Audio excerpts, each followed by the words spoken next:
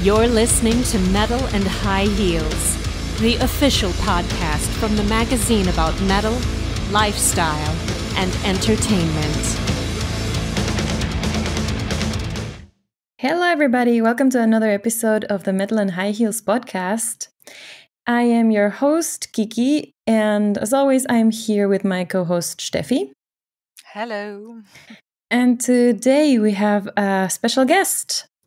We are talking to Kristine Kruta. Is that right? Yes, that's me. Would you like to introduce yourself to our listeners? Yes. Hi, I'm uh, Kristine Kruta. I'm a cellist and music director for the women's orchestra Little Kruta. Cool. And we uh, got to know you uh, because of your album uh, Justice from 2019 that covers several um, Metallica hits, more or less. And that's what we are going to talk about today. But first of all, I would like to ask you about your um, musical background and upbringing and how did you start um, listening and making music? Um, I guess I started really, my parents loved music a lot. Um, we always had the radio on or a record on growing up. And um, my, both my parents were really into singing along or like air guitar, um, talking about all the different instruments on all the songs that you would hear. And I started playing cello when I was nine years old and I hated it at first. It was um, I'm short, and I was really short as a kid. Um, and after a few weeks playing it at a school, I started to really love it. And the older I got, the more I realized that it could be a a job, like that. You know, you can be paid to make music, which as a kid just seemed like such a fantasy world. Um, you know, but um, yeah, I got older and decided I wanted to go to school for music. And here we are 20, 21, 22 years later. And it's, um, it's been such a wonderful journey. And where did you grow up? I grew up in Greenville, South Carolina. Oh, all right. So, what kind of music did you uh, start playing? And uh, wow, um, nine year old cellist. Yes. That's impressive. um, well, when I started playing, it was it was really um, you know it was in like classes, so we we played a lot from these children's like learning books called Suzuki. Um, it's a lot of like classical music that's been arranged for for kids, and I tried to learn a lot by ear um, and listen a lot at home. But my parents were uh, not classical music listeners. It was a lot of um, rock and roll, uh, a lot of Van Halen and Frank Zappa. Hell um, yeah. yeah. Yeah. Big rock household, which I think is why I'm in the in the career that I am in today and you know grew up not to be a classical player but grew up to be in like more of the rock um, rock and jazz world. But mm-hmm. um, yeah, I'd never. I love classical music. I love playing it. I love listening to it. But I I never really felt in my heart like it was something that I wanted to pursue as anything other than just like a hobby. Okay. Yeah. So is that um, the reason that uh, yeah rock childhood, yes. uh, so to say, um, to to cover an whole Metallica album, but in a yeah classical way. Oh yeah, so you know the Metallica project wasn't even my idea. Um, so the label Chesky Records, um, one of their A and R's called me and asked if I would be interested to do that because he really wanted to bring this Metallica album to life in a different way. Um, and I had listened to Metallica before, but it wasn't um, it just wasn't on in my house a lot growing up. Um, and I wasn't super familiar with their work. I knew um, what I had heard on the radio, and just as you know, hearing it in in even in college in like you know music theory classes, we would listen to it because the their writing is like so dense and interesting. But um, Jeff called me, Jeff Lanier called me and wanted to discuss doing this record with um, with a classical style orchestra, which for for me would be mostly strings. That is what Little Kruta is primarily comprised of. Um, but it really turned out to be like the perfect combination of like classical and rock, I think, for this project.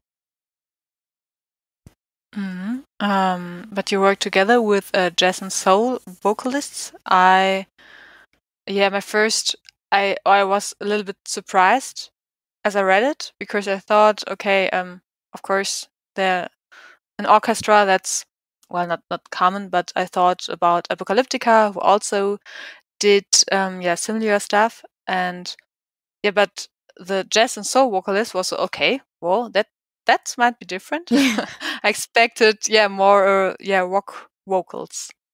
Yeah, I think it was um, it was a good choice to go in a totally different direction. I think um, because it could be there you know there are a lot of everyone wants to cover metallica you know um, and there are so many incredible covers that are in that rock vein and i think it it really made the album stand out the fact that like the the writing was so um, rhythmic in like a rock sense but then the the progression of the songs and even the vocalists to have them as like a softer like feminine jazz style is is so you know 180 from what you would hear from a typical Metallica cover or even from Metallica themselves. Um, it just it really colored the songs in a, such a completely different way. They're almost unrecognizable. But in a very good way. yes, I agree. So, how was it, or was it different for you to work with an all female orchestra? No, um, that's been pretty much what Little Kruta has been doing for the past few years. Um, most of, even before Little Kruta, most of the time that I was given the opportunity to hire artists, I would try my best to hire as many women as possible. Um, it's, you know, growing up and being in school or even being a young professional in the the music scene it's primarily men um, which is mm-hmm. great there are some great guys you know out there but it's it can be difficult sometimes to be comfortable or make your voice heard um, or be respected in kind of like the right way. Um, you know it's just the reality that you know not not all men uh, care about women in a professional sense when it comes to music making. So it's been a really special thing that little kruta has been able to do to really bring together an incredible level of artistry and professionalism but have them be women um, and it's something that i yeah i can't imagine working in a different way at this point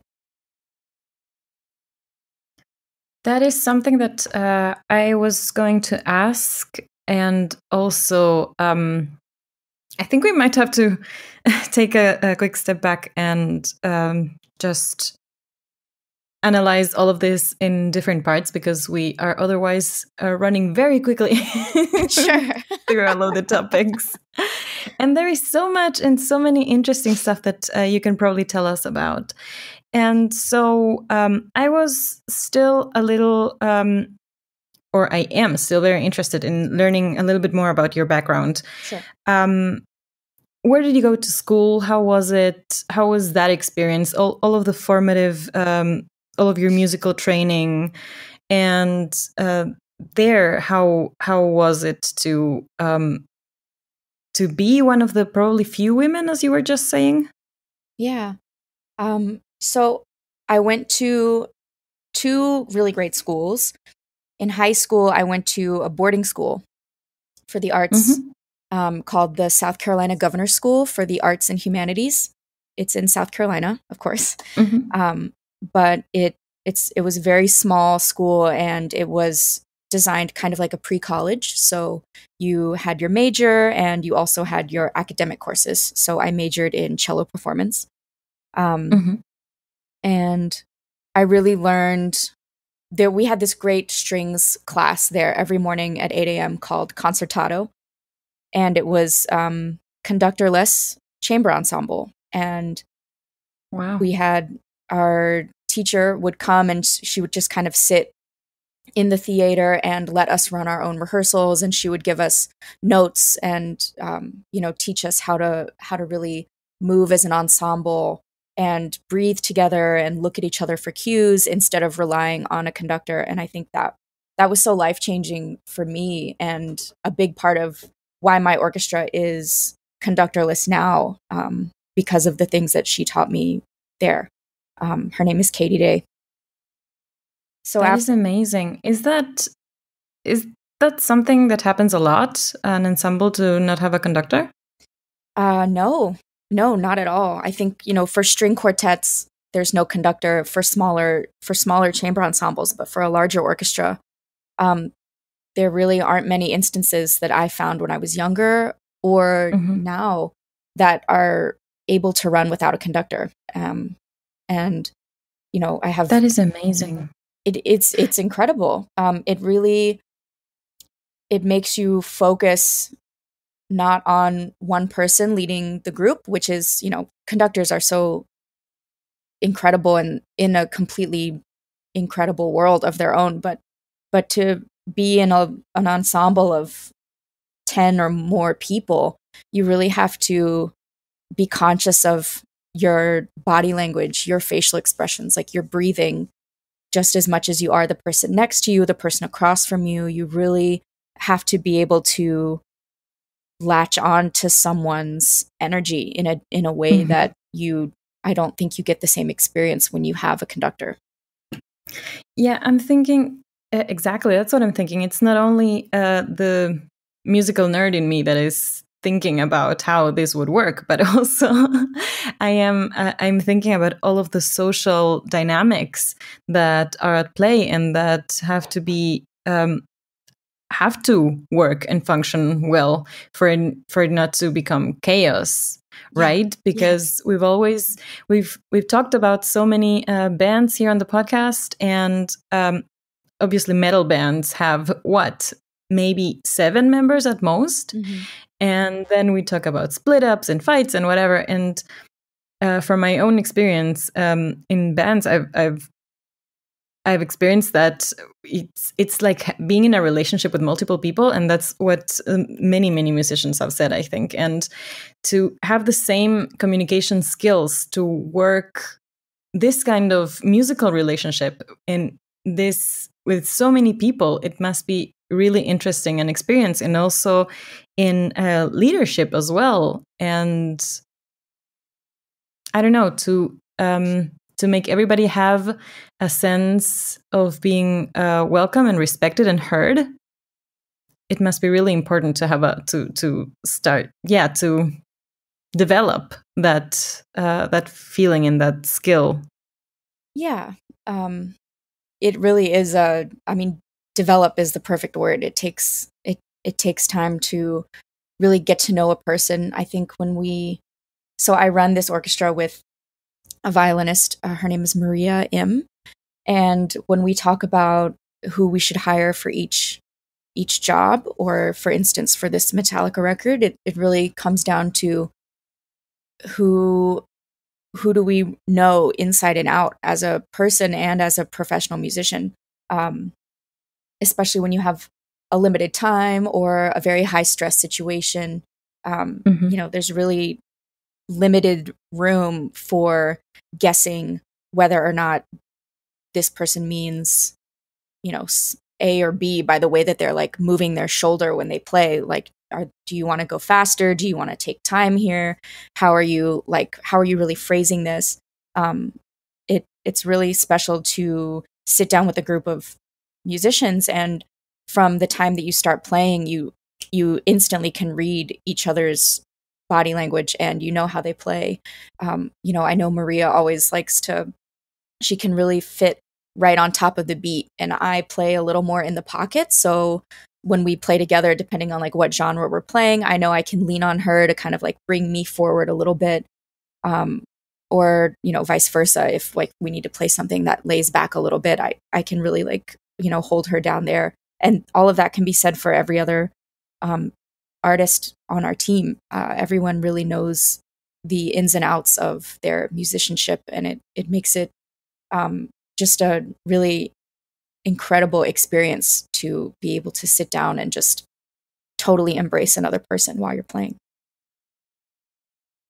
That sounds lovely. But I'm sorry I interrupted you before. Um, you were still talking about your education, and then we oh, yes. went in a tangent again.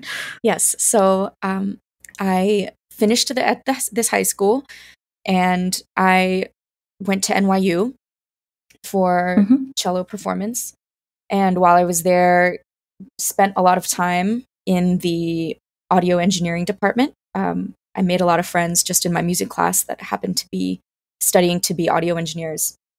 And I thought that was so cool. And I had never really experienced being in a recording studio before then, um, or you know, learning about how microphones are made, or you know, the different compressors that can be used to manipulate the sound. Um, mm-hmm. And I just thought that was so fascinating and started reading about it and signing up for classes, or I would just um, try to sit in on as many classes as I could or volunteer to play for any of the, the classes that needed to learn how to record um, cello. And while I was doing all of this, um, these these engineer friends of mine, if they had, you know, their own band, everyone in college has a band. so if they had their own band and they wanted to record strings, they would call me. And if they didn't have string parts written, I was like, okay, well, you know, I'm sure I can figure it out. And I would sit down mm-hmm. and try to figure out how to arrange all these string parts for them and realize that I loved not only arranging string parts, but I loved hiring people that I knew could ha- be fun and also be great in these sessions. And the more I did that over the next three years, um, it just, you know, became bigger and bigger until I started interning at a recording studio um, in New York and was kind of doing the same thing. And then people started wanting to pay me for it, which I thought was so funny because I didn't have any training in arranging or music direction. Um, mm-hmm. And I think that I think not having training in those things and really just jumping in and saying yes to as many opportunities as I could was, I think, the best thing that I could have done for myself because I was really forced to study and learn everything on my own instead of having someone teach me like a specific way that these things were normally done as one would learn in school. Um, yeah. But it's, I think, such a thrill to kind of make your own rules as you go along. It's much more uninhibiting. That's really interesting. And what led to the foundation of uh, Little Kruta? Well, while I was at this recording studio, um, I had a, a mentor at the time tell me that I should just start recording some of my arrangements because I had been talking about wanting to start a string orchestra for a long time, or I had wanted to be more involved in professional vocal professional vocalists recordings you know if they had strings on mm-hmm. an album like i wanted to be that person so i mm-hmm. started mm-hmm. just asking the very first ep i put out um, wasn't even a little kruta ep it was just it just had my name on it but it was in essence what little kruta is now it was all strings and uh, drum set and vocalists. And I, I asked um, a friend of mine, my roommate from high school, actually, she moved, ended up moving to New York. She's a fantastic violinist named Maggie Gould. And I kind of told her what I was doing, and I said I don't have a budget. I really can only like use my my boss's studio at night when he's not here. I have a million violin parts. Like, will you come and stack all of these with me? so I can, you know, have an album to show people when I tell them I want them to hire me and uh, I can like make an orchestra for them. And mm-hmm. you know, she said yes, and it really sounds like an orchestra. the The album is so beautiful. Um, it was a long time ago, but I still love it to this day. But it was really just the two of us trying to layer layer all these string parts over and over and make it sound like an orchestra. Um, and that was really well received. And once I had that, I was, you know, anytime I met any musician, I would say like, I can music direct an orchestra. I can write for an orchestra. Like here is something that you can listen to. It's on, you know, Bandcamp or SoundCloud, whatever it was at that at that time. Mm-hmm. And um, I really did eventually start getting more phone calls to arrange strings or, you know, eventually um, a friend of mine from the studio started working for this production company that does a lot of um, production for artists for TV. So he had passed my name along to one of these producers, and so I started getting calls to music direct um, orchestras on TV, and that was really exciting. And um, it's it was really just kind of uh, the you know the snowball effect. This one little thing, you just keep pushing and pushing and pushing, and eventually it turns into this giant creation that just seems like it came out of nowhere, but it's just you know years of small things. Yeah, that sounds so cool. Yeah. Um, a long journey yeah, for sure. Long, long journey. um, and I think, you know, I have a lot of great male friends that I had been hiring for a long time. And it was really, I would say, at the end of 2017, um, beginning of 2018, when I decided that I wanted to officially make Little Kruta all women um, mm-hmm. which has just been the most wonderful, special decision I think I've made in the last few years. Um, and I hear that from a lot of the women that I hire because there haven't been many opportunities for us to play in a in a group that's just us um, that's yeah. just women and can be completely comfortable environment and um, yeah it's just been amazing that sounds great. Can we dive a little deeper then, right at that point when you decide to make it an all women's orchestra and and the reasons behind it? Because I uh, read an article the other day that I'm trying to find so that I can link it in the show notes. By the way, before we go uh, forward, all of the show notes for this and every episode, of course, are on our website, metal-and-highheels.com slash podcast 80 for this episode. The number 80, this is our 80th episode. That is wow, so cool. Congratulations. Thank you so much. Thank you. yes, and thanks everybody out there for uh, still listening to us. Um, all right, so the the article I was uh, referring to is from The Empowered Musician. Mm-hmm. That is uh, an online magazine or blog, and it is from it is pretty recent. Um, we are recording on November 30th, and this was just from a week ago. And it talks about the world of opera and how uh, male opera singers have just much more opportunities and um, in general there are way um, or a lot more roles mm-hmm. for them leading roles uh, mostly and how the the systemic sexism in the uh, opera world uh, works it's a pretty long but very interesting article that i uh, as i said i'm going to link but i thought maybe uh, there would be a parallel to the um, well, it's still the classical world of the orchestra, mm-hmm. right? So, what is your experience in in that sense? Well, I think um, I can't really speak to the opera world as much, but I can definitely say, as anyone in the music industry, it is more commonplace to walk into a room and have that room be nine out of 10 men to women ratio.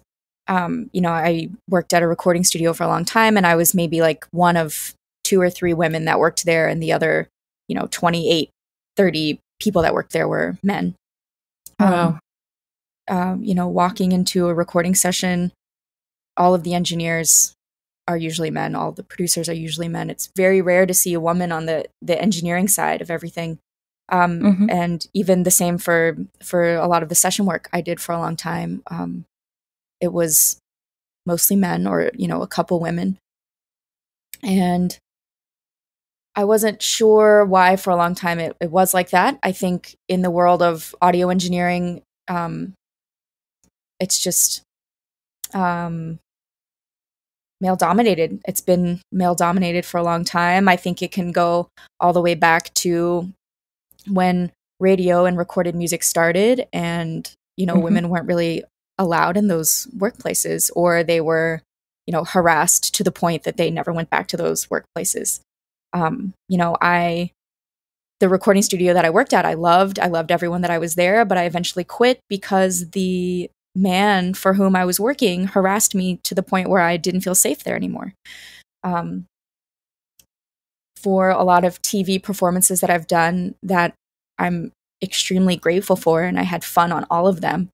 Um, you know for a lot of them i was asked to you know dress sexy or hire women who looked sexy. Um, there were a few times that i you know a producer would ask me to submit names and photos um, of you know different women to be on you know this tv show or this tv show. And some of those women they said no because they didn't look sexy enough. And it wasn't really the caliber of playing they were interested in. It was you know how you know how high is your sex appeal? Um Oh, know, wow. and for tv i as a as a director and as a producer i understand that yes there needs to be a certain look.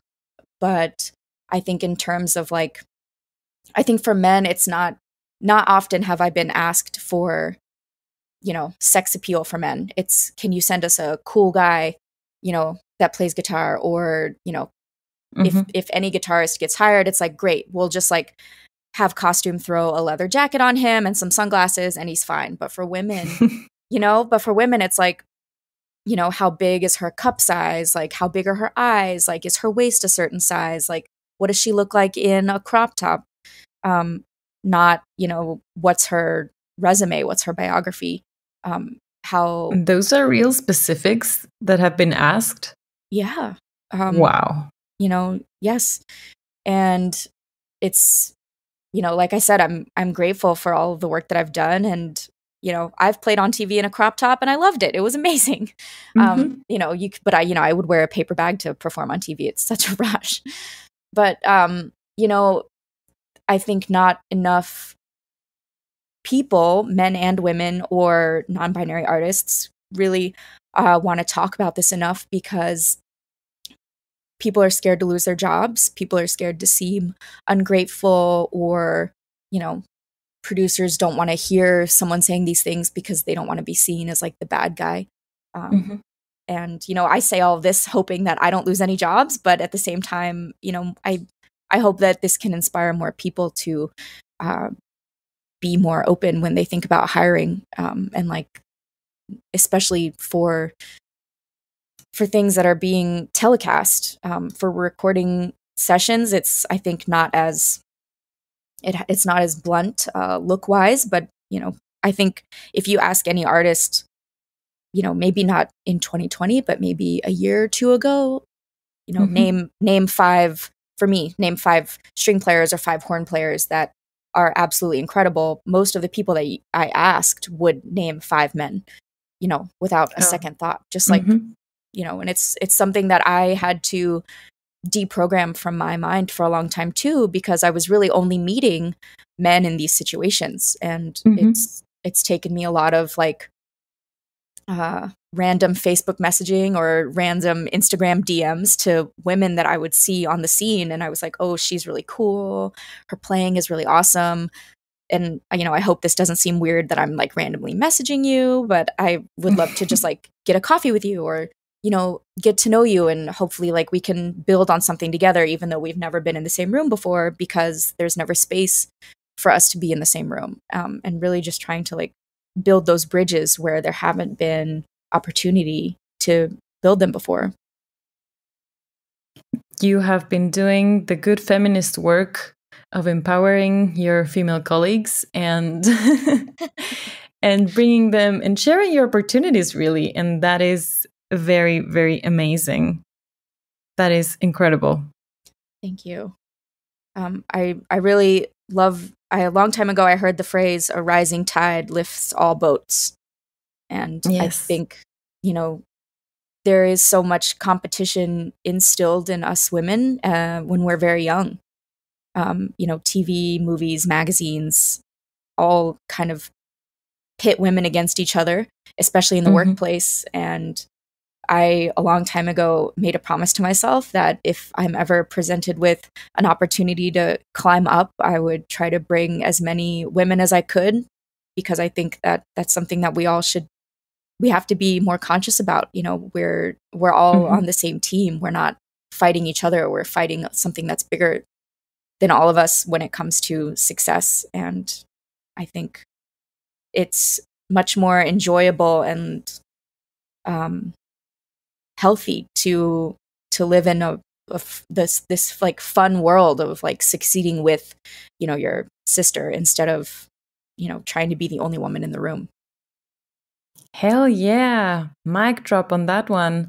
and and before we start, um, because I can listen, I can hear these voices already um, of people trying to argument against this. And yes. uh, my response to that is always the moment where um, it's 50 50 the moment when where uh, you see i don't know um, musicians in general female and male and that's a 50-50 uh, distribution and uh, the moment where festival billings um, are full of women as well then we can maybe just you know make it random and yes just look for the best music- musicians but until then we still have to do this work.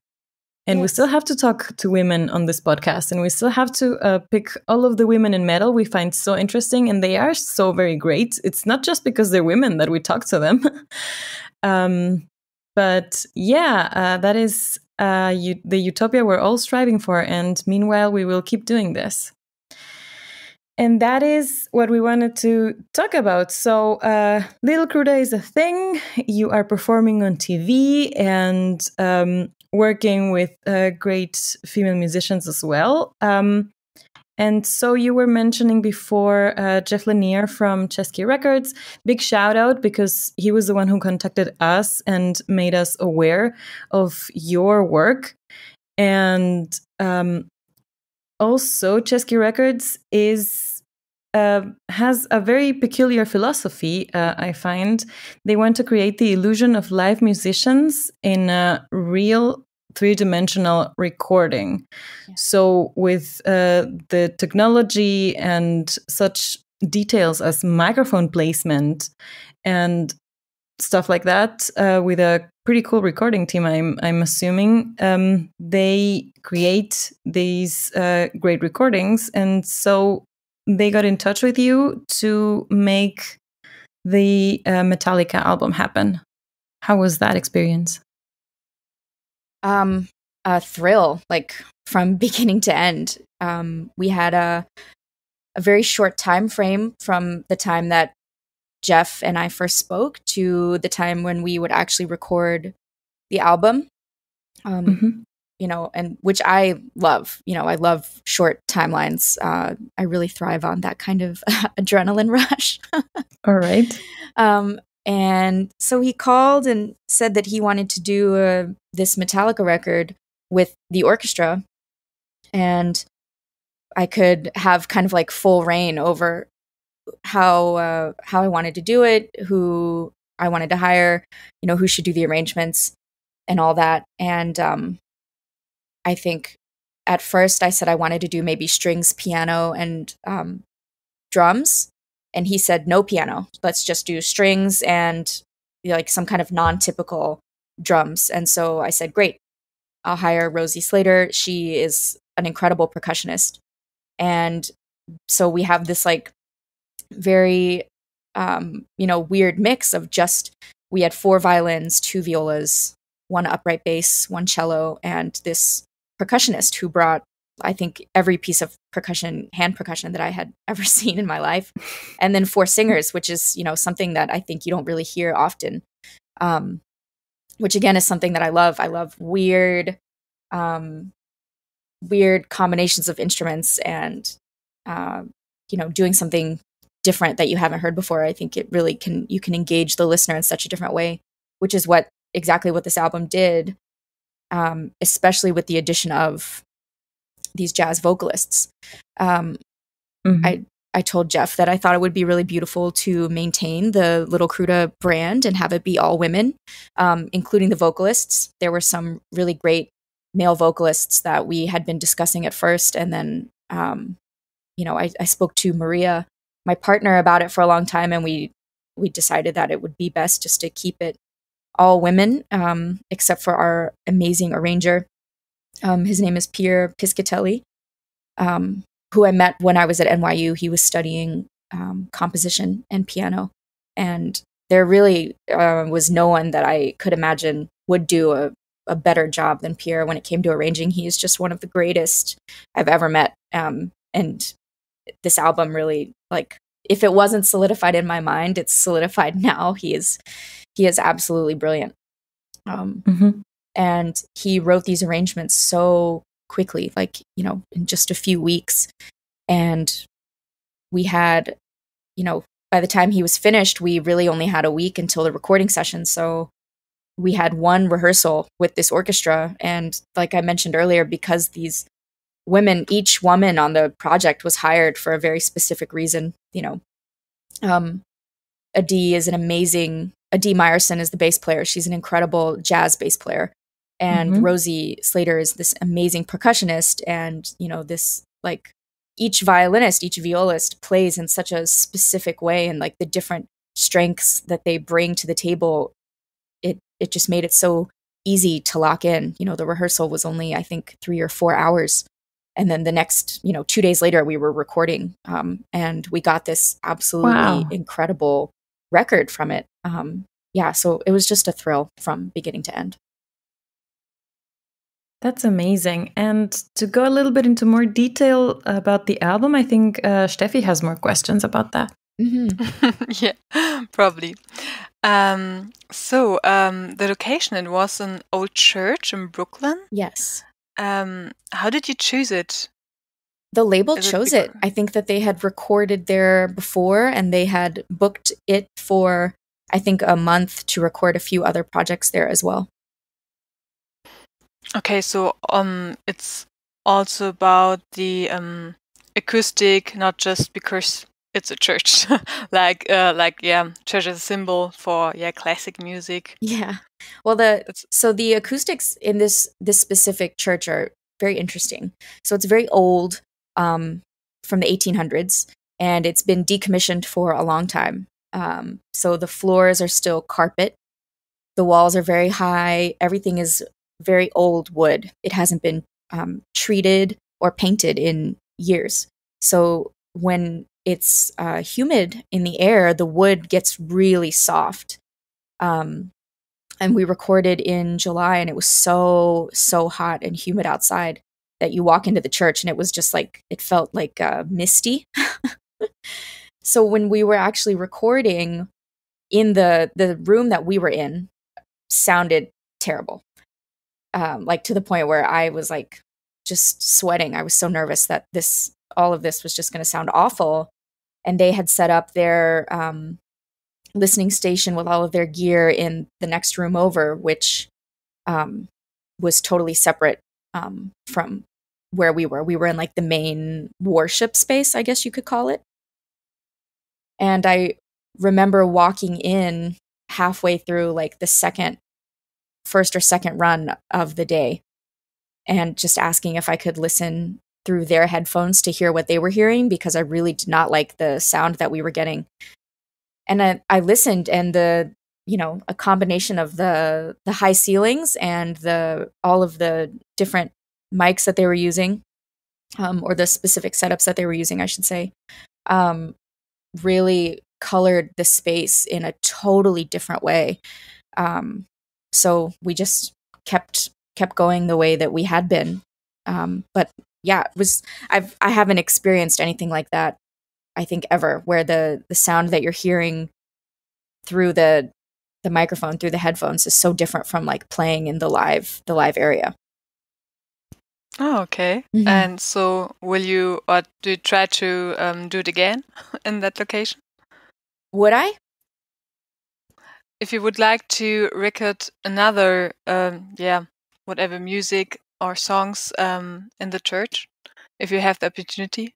Oh yeah, I would I would love it. Um, there was a lot of it's big, it's a big space, and being able to really spread out from each other. You know, we it was so comfortable. Um, I like to move a lot when I play, and because we are a conductorless ensemble, you know, a big part of how we can really play together is everyone really moving a lot. Like the body language is so important. And so being able to be so spread out and like everyone could really like move or dance while they play so freely um you know just physically made it feel so much better. You don't have to worry about hitting someone's elbow or knocking someone's bow. Um you don't have to worry about you know the mics being so close because they were really over our heads. Um but yeah just the the end product that we got um was such an incredible combination i you know would absolutely love to record something there again Oh yeah, oh, it sounds amazing. yeah So you, it was not like, um, yeah, you're standing in the yeah typical orchestra position, but you also just dance around. Sounds so like you had a little party while playing and, re- and recording. Yeah. I mean, I think personally, I think that you know the the thing to keep in mind for for every job that I have is to have fun. You know, at the the end of the day, we are playing music for as a job, which you know, if for no other reason, it's because we love it. And you know, I love what what better feeling is there than hearing a song that you love or creating music with someone you love and like moving your body and I think that's a big principle that we've tried to keep at the forefront of Little Kruta, even as we move into these, you know, whether we're playing on TV or recording an album in a church or just recording in a studio and, you know, no one will even see us. We don't know if we're being filmed, like, you know, but just the the energy that like moving your body with the music brings, I think really changes the, the sound. Um, Mm. and it's you know it's it's i think easier to play the more fun that you have keeps the stress level down. It keeps your you know you want that childlike spirit in every note. Um you know music is so pure no matter what the content of it is. And i think it's important to keep that um in in one's heart when you're really when you're doing this. Um so yeah the, the just the fact that you can have all this space to like really move around and just kind of like be yourself while you're playing was great. Yeah, sounds amazing.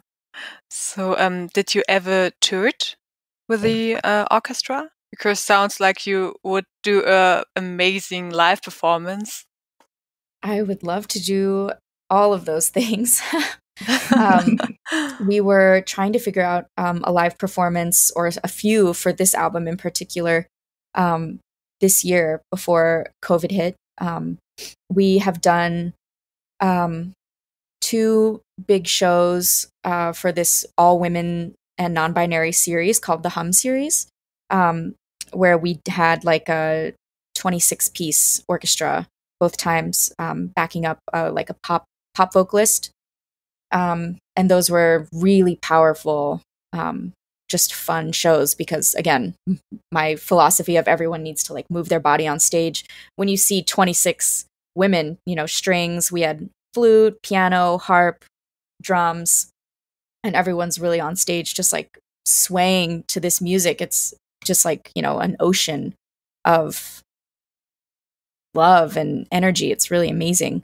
Um, and we were definitely trying to do more of those kinds of shows this year, but I'm thinking that will probably be postponed to the the end of 2021. Yeah, yeah, sadly. Yeah. or hopefully it Yes. can be realized next year. yes. Yeah. Okay, great. Um, Kiki, do you have anything else in mind? Yes, I was already thinking uh, what would be next. Um, are you maybe planning on taking on another uh, big rock or metal project? I've been thinking about that a lot, actually. Um, you know, this album was so fun and very successful and um, well received. I think it would be amazing to do another project like this. It would just be um, really a matter of finding a way to pay all of my artists. Um, you know, Mhm. everyone definitely has the time now since our industry has been put on pause for so long. We're all, you know, just trying to work from home. Um, Yeah. But um, yeah, it would it would just be a matter of finding an investor or working with another label, um, or something like that. Uh, but definitely, definitely open to that. Do you personally listen to any, um, or what do you even listen to? Oh my gosh. You know, it really depends on the day or, you know, if I have a a client that reaches out and wants strings on something, if they send any references. Um, I've been listening to, I've been doing a lot of um, work in pop lately. So I've been listening to um, a lot of pop music. Um, there is this great artist, Lauv, who is just an amazing songwriter that I've been listening to. And um, the the textures that he uses in all of his songs I think are so colorful and interesting. Um, Mhm. and I've been listening to a lot of James Blake. He's had a lot of new music come out lately, and I think the the work that he does with, you know, his like vocal and piano infusions really speaks to me as as an arranger and a a cellist in such a different way. Um, but yeah, a lot of James Blake and Lauv definitely. All right. Uh, you were mentioning, um, well, uh, the pandemic as well. Um, what does your routine look like right now? You were talking about working from home as well, but normally you would also be in the recording studio a lot, maybe? Yeah, so before COVID hit, I was touring with the Eagles and I was Nice. performing. Thank you. um, and I was performing with Alanis Morissette's new Broadway show, Jagged Little Pill. Um, we were actually just Wow. nominated for a Grammy, which is so exciting. It's my first one. Oh, congratulations. Thank you. That's awesome. Thank you. um, so normally I would be either playing on Broadway or in the middle of a tour. Um, and you know, whenever I'm on tour or my Broadway shows are just at night, so during the day I have all this free time. Um, I do a lot of arranging. So now that COVID is here and all of that has been uh, postponed, I um, have been doing a lot of recording from home and arranging from home um, for different artists. And um, I have started a YouTube series called Strings at Home, where I work with songwriters and create a strings only, strings and vocal only version of um, a song that they've written. So we have two out. Um, one with this incredible soul artist. His name is Modre, and another one with um, this great pop singer Anna Shoemaker um, we have another song coming out with an LA based pop soul artist named Morgan. Um, but all of these are, we um, film ourselves while we're playing, me and my partner Maria. And we have the vocalist do the same. And then we put out an audio version um, and we put out a video version so everyone can see how we're um, still able to collaborate while we're all kind of quarantined in our respective homes and that's been really special just to connect with these these artists that I've maybe met never or once before um, and really talk about their songs in a different more intimate way and how the song means something different to them now being totally isolated than it did when they you know maybe then it did when they wrote it, you know, months or years ago. Um, so that's been my main focus uh, as of now, and it's been uh, really healing, I think, for me to get up every day and work on something that that has nothing to do with, um, you know, anything else other than this like collaboration of love between Little Kruta and uh, this singer. That sounds like a lot of fun as well. Yeah. And really interesting to watch. So, we are going to link your uh, YouTube channel and also have some videos in our show notes. But um, is there anything else you would like to tell us, talk about, anything you're promoting at the moment? Um, let's see. Very excited about the YouTube. Um, all of our new releases, I have a Spotify playlist of all of the Little Kruta releases, so people can subscribe to this playlist and hear all of our songs in one place that we've worked on, including the Justice record.